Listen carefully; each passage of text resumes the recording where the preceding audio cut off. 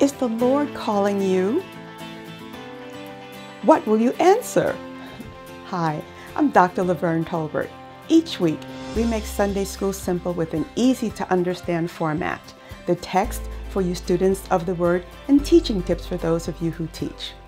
Are you ready? Let's pray.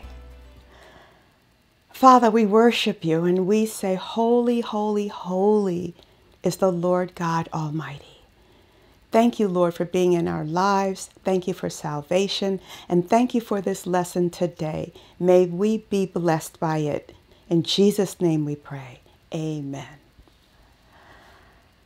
I'd like to give you a personal story about a time that I was in service and we were singing this beautiful worship song to the Lord. And I felt that singing, I just wasn't expressing enough of how I felt. And so I got down on my knees and I started singing and worshiping the Lord. And it's sometimes unusual for us to kneel in service, but we should be able to do that, yes? Other people look like, what is she doing? But it's okay for us to kneel in service, to stand and raise our hands and worship the Lord because He is holy, holy, holy. And sometimes singing just isn't enough. Our body wants to be involved, which is why I love the African style of worship because they worship with their entire bodies. Well, this is what we're going to study today worship as we look into the mirror of God's Word in this new unit one about God's people worshiping. We'll look into the mirror of God's Word by discussing what's important to know, cognitive, feel affective, and do psychomotor. Let's begin with our first set of verses from Isaiah chapter 6, verses 1 through 4, New Living Translation. It was in the year King Uzziah died that I saw the Lord. He was sitting on a lofty throne, and the train of his robe filled the temple. Attending him were mighty seraphim each having six wings. With two wings they covered their faces, with two they covered their feet, and with two they flew. They were calling out to each other, Holy, holy, holy is the Lord of heaven's armies. The whole earth is filled with his glory. Their voices shook the temple to its foundations, and the entire building was filled with smoke. The key point is see God's holiness. The northern and southern kingdoms of Israel and Judah experienced great prosperity during the 8th century BC. But God was not pleased with their lifestyles because their leaders had broken the covenant with idol worship, social injustice, and sexual sin four major prophets ministered to the southern and northern kingdoms Amos and Hosea in Israel, and Isaiah and Micah in Judah. Isaiah actually prophesied in both Israel and Judah. He received his call to ministry around 742 BC, which was the year that King Uzziah died. King Uzziah was also known as Azariah, and he began his long reign in 783 BC. In 721 BC, the northern kingdom of Israel fell to the Assyrians, but the southern kingdom of Judah survived for a little while. This background and context help us better understand today's lesson so we can apply God's word to our lives. The big picture is this Isaiah realizes who God is and he responds to God's call. According to Isaiah, while he was physically inside the temple, his soul was taken up to heaven. There he sees God's holiness.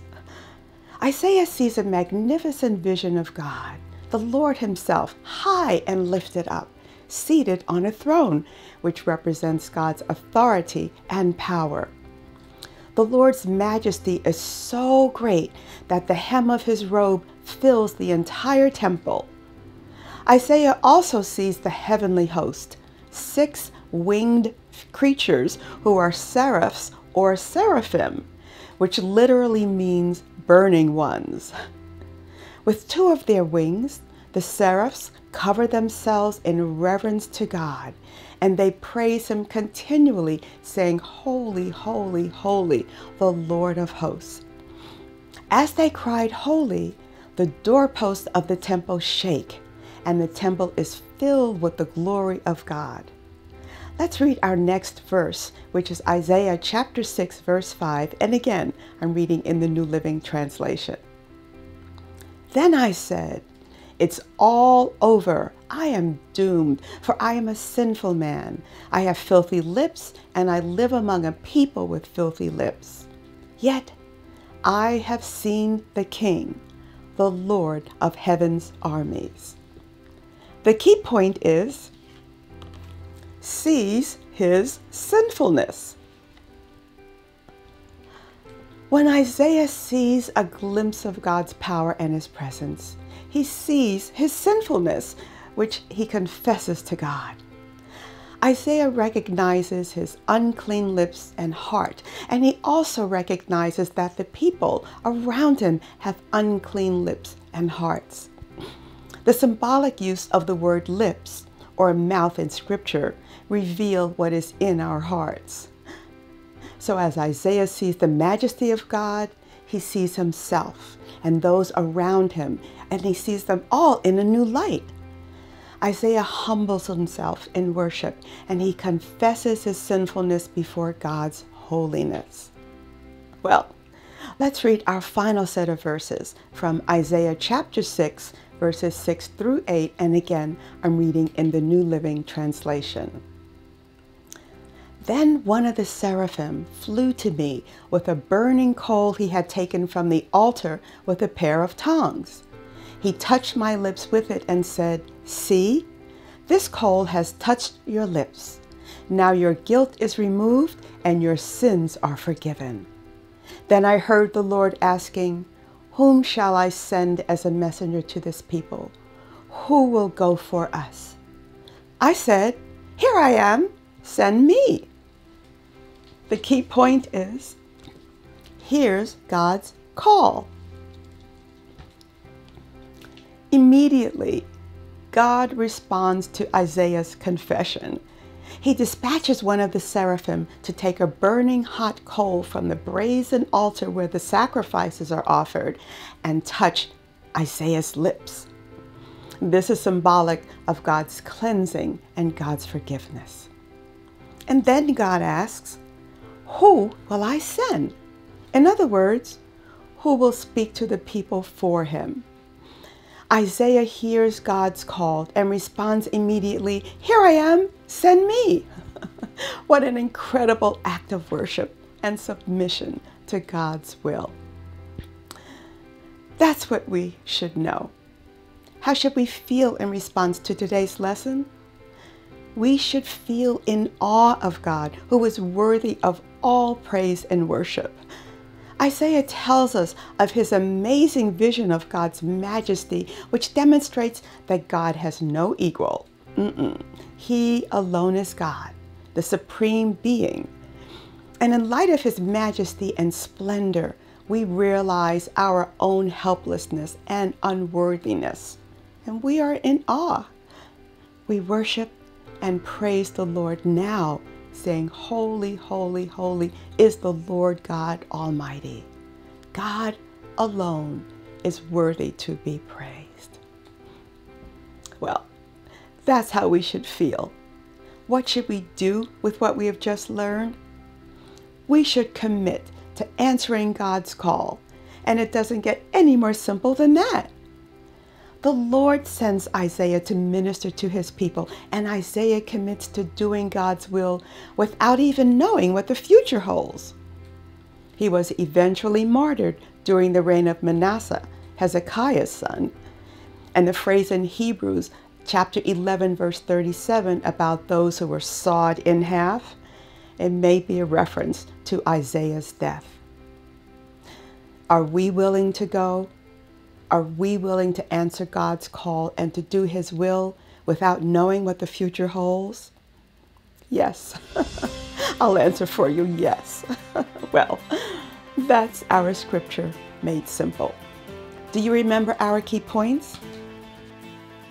See God's holiness, sees his sinfulness, and hears God's call? In light of God's holiness and majesty, Isaiah sees his own sinfulness and the sinfulness of his people. God needs someone to speak for him, and Isaiah is ready to go wherever the Lord sends him. It's been my honor to share with you today. For additional resources that will help you as you study or teach, I invite you to subscribe to preceptsdigital.com and you'll find my lesson plan, special teaching tips, the word made simple, and so much more. In addition, you'll connect with a community of believers who are growing as they study God's Word together. I look forward to seeing you at preceptsdigital.com.